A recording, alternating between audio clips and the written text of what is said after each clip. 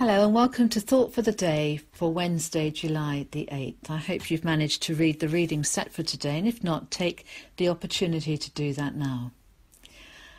Our psalm delights in the fact that the way to go forward with yours and my life today is to use the light of God, His Word.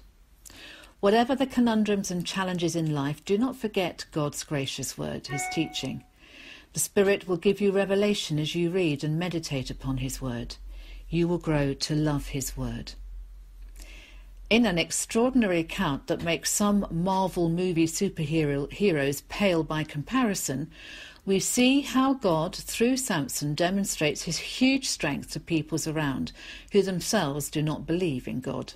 The detail, I agree, is quite horrific and displays cunning tactics on Samson's part. He was certainly a force to be reckoned with. However, the point that he attributes strength to God is one we need to hold on today. Where is your strength rooted? And when you lose physical strength, as a dear friend of mine has done as cancer and chemo have caused great weakness, to whom do we turn to sustain us?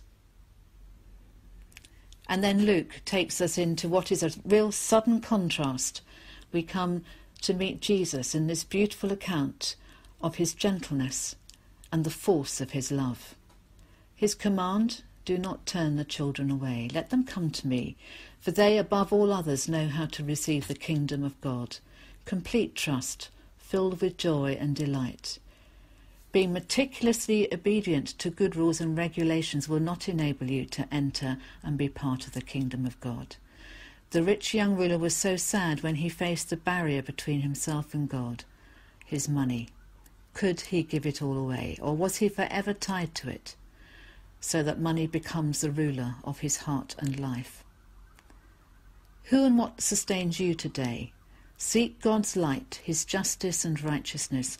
Run to him as a child does, and receive his joy into your heart. Do not be sad. Dear Lord, make your word to be the light that guides me. Give me life as you promise in your word. Hold me up, and I shall be saved, and my delight shall be ever in your statutes. Amen.